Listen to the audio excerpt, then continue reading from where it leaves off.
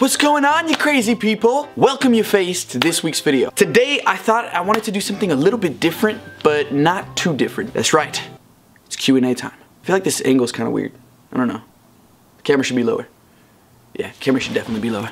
Alright, I think that's better. Okay, without further ado, let's just jump right into it. The first question of the day, and it's probably, let's be honest, the most asked question ever, that's not true, is brought to us by the wonderful Alicia Akabori. Alicia asks, favorite ice cream flavor? Listen, uh, I don't even know how I could possibly start to, pistachio. No, it's not pistachio. I don't know, vanilla. Vanilla is definitely my favorite. I know it's pretty basic, but yeah, definitely vanilla. Second question is brought to us by Lisa Ob Ob o Obroy. It's probably wrong. Do you like One Direction? Yes. The third question is brought to us by Emily Risden. The question is, would you rather never be able to talk again or never be able to sing again? Definitely, I, would rather never be able to sing again. Uh, you might be like, what, Greg, what? Are you insane? Are you serious? But this whole YouTube channel, this whole time you were lying to us. No, it's just that I, I really like talking.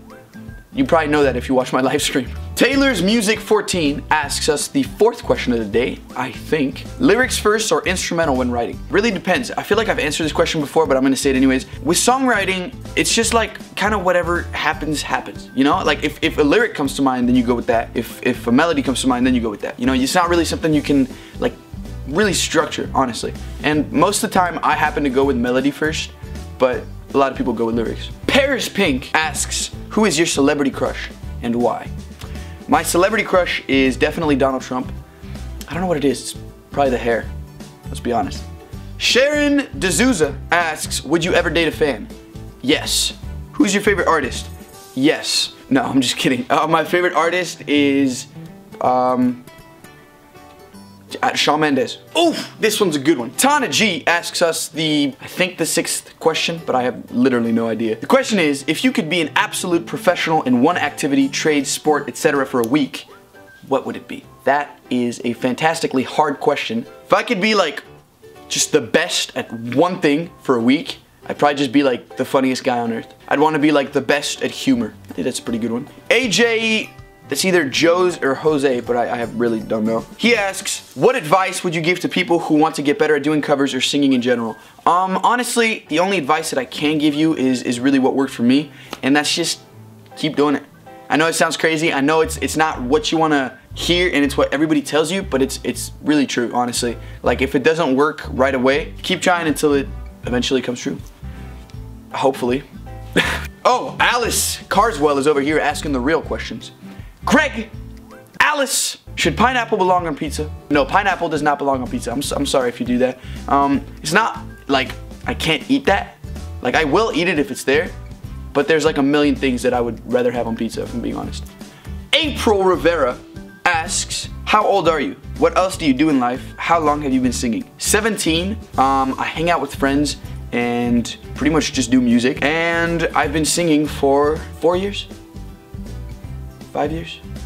Three years? It's a weird way to do three with my fingers. I don't know why I did it like that. So now I just, I just answered some of the questions from YouTube and we're actually gonna switch over to Instagram on there because I actually made a post telling you guys and there's actually an insane amount of answers. So yeah, just in advance, I, I will not be able to answer every question. There's like literally hundreds. So I'm gonna have to pick and choose. Sandwich 157 asks, would you rather only be able to wear sweatshirts or only be able to wear sweatpants? Price sweatpants because like I'm rocking the sweatpants right now and uh, I don't know, it's pretty great, pretty comfortable, I'm not gonna lie. Moonlight Gontier asks, can you describe your fans in one word? Um, well, that's probably one of the hardest things to do because there's so many. But if I had to choose one word to describe my fans, it would be talented because of all, all the like amazing fan art that you guys send and like all the edits and stuff like that. Like that's really crazy to me. I mean, there's, it's seriously really dope. So definitely keep that stuff up, guys. Mariana MDZA98 says, favorite movie slash series. Um, favorite movie, we already know I'm not gonna answer that. Favorite TV show, I don't know. Friends, probably. Friends is probably one of my favorite TV shows of all time, definitely. Sion Sanchez asks, what does music mean to you? Music is a way of expressing yourself and it's also just really nice to listen to. I mean, that sounds like a really dumb answer, honestly, but like, it's pretty much it. It's just really nice to be able to like say what you want in a way that just sounds nice to the ear. You know what I mean? Like, I'd rather listen to a song than someone like tell me a story. So, yeah, I feel like that's a pretty, pretty good explanation. Oh, live underscore me dot 283 asks, is your P.O. box still valid? Love you. First of all, love you too. Second of all, it absolutely is still valid. I'm getting new fan mail all the time and I'm posting on the wall, so definitely do that. All right, that was actually the last question I'm gonna do today. Guys, thank you so much for all these questions. There is, as I said, hundreds of them, so I am so sorry that I can't answer all of them. I really wish I could, but just looking at all your questions is really amazing. So, so thank you so much for putting the time to ask me all these amazing questions. Give this video a thumbs up if you enjoyed it, and subscribe if you want more. You guys know how that stuff goes. Anyways, I hope you guys have an amazing day, and I will see you next week. Peace out.